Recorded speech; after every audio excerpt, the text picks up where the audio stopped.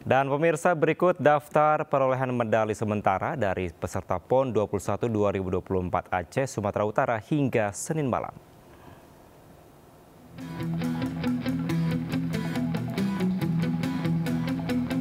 Kontingen Jawa Timur sementara berada di puncak klasmen dengan 24 medali emas. Disusul Jawa Barat yang mengoleksi 13 emas. Kemudian di tempat ketiga Aceh dengan raihan 12 emas.